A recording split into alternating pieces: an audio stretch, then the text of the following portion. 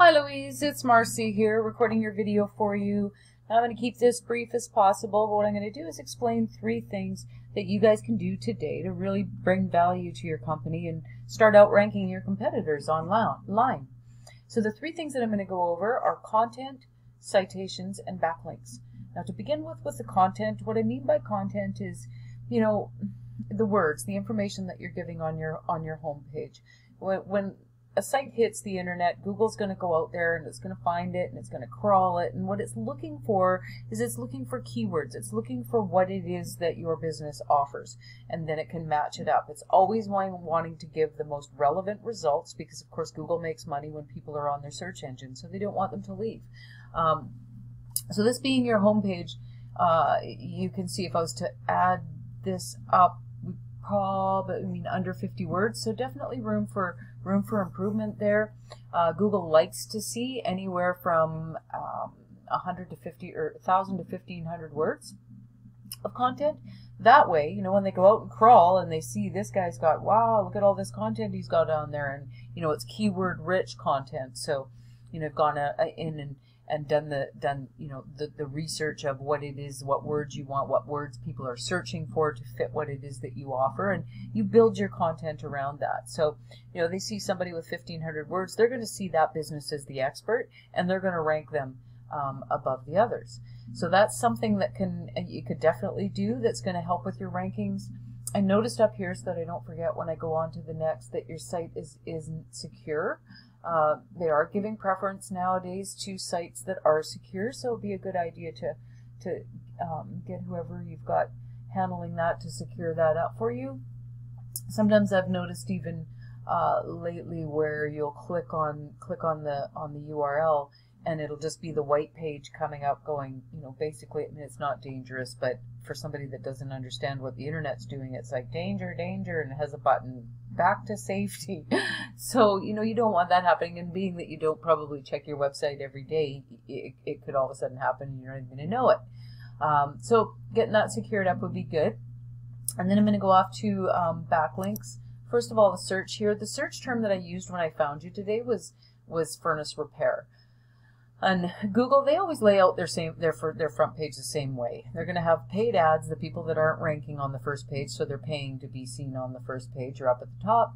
And then here you've got your Google My Business listing. Um, these three spots are are, are definitely um, prime real estate on that first page. And then down here we call this section the organic rankings. Um, so these sites are predominantly the ones that are showing up at the top here and showing up on the first page. A lot of the power behind that is, is the backlinks. So what a backlink is, is it's when other sites on the internet link back to your website.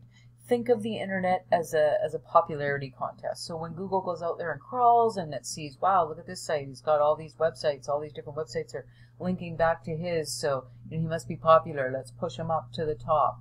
Um, that's kind of how that works. So I took that first one for this key, you know, term. You can rank yourself for many, many, um, many, many search terms.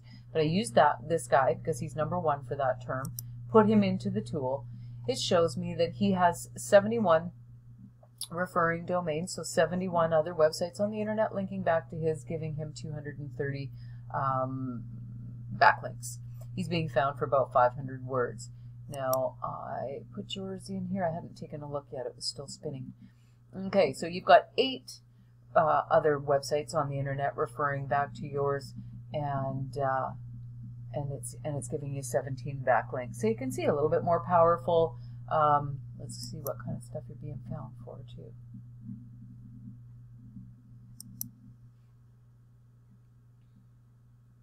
See, definitely if you were to type in your own business name, then you're going to come straight up for that. That's how that works.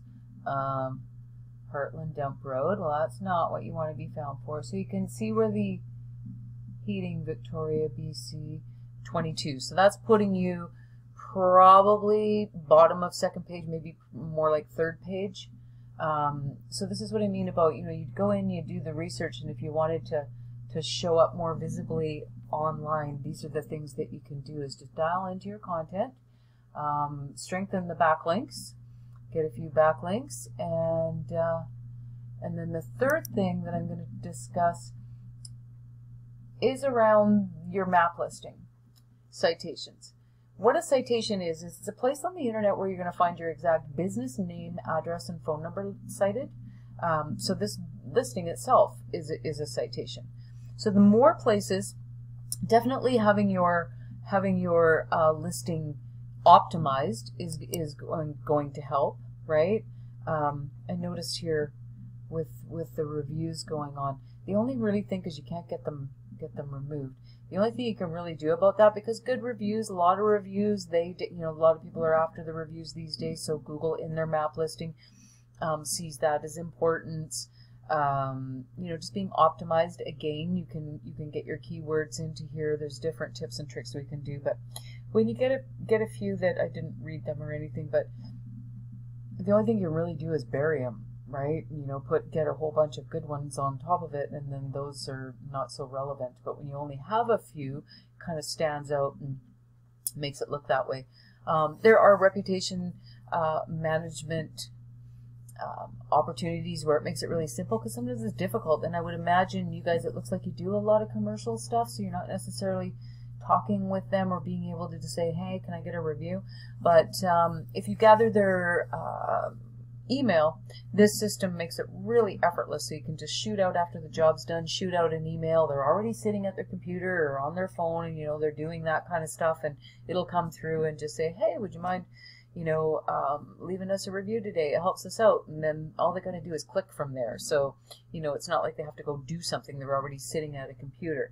And it prompts them right right to your listing. Like literally just start typing or just start pushing stars. Now, if for whatever reason you had somebody that wanted to um, leave a lower type star, then uh, the system is set up so that that is not going to be sent right here to, to Google for them to write it on the internet. It's going to give them a place to say whatever it is that they need to say, but it's going to come directly back to you so you have the opportunity um, to talk to them about it or, or, you know, best case, it's, it's saving, um, saving it from hitting the internet where you can't remove it. So I am just going to leave it at that. I don't want to overwhelm you with the information here, Louise. I will follow up. I want to make sure that you did receive the video, and I'd love to hear your feedback. Thanks. Bye-bye.